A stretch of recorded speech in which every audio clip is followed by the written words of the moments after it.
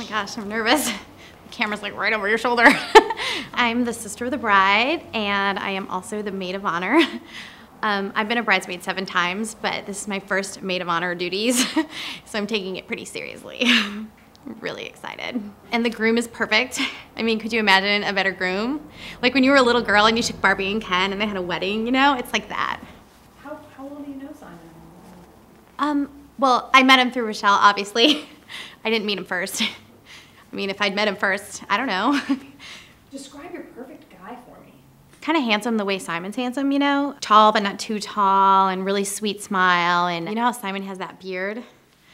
I like that. It's cute. I never liked beards before, but he wears it well. So, I mean, but I wouldn't, I'm not saying someone just like Simon. I mean, that would be weird. But like if he had a twin brother, I mean, not a twin brother, but you know, if he had a brother